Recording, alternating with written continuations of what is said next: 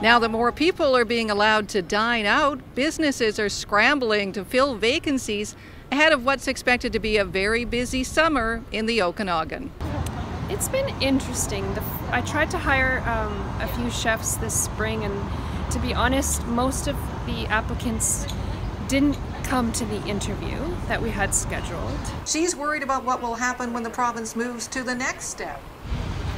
It's gonna it's about to get really busy and I don't know if we're gonna have enough. I'd love to hire someone in the next two weeks, let's put it that way. The president of the BC Restaurant and Food Services Association says thousands of workers have left the industry during the pandemic, and many reopening plans will be dictated by available staff. It's anticipated BC will move to step three of its four step reopening plan on July 1st. Cindy White, Castanet News, Kelowna.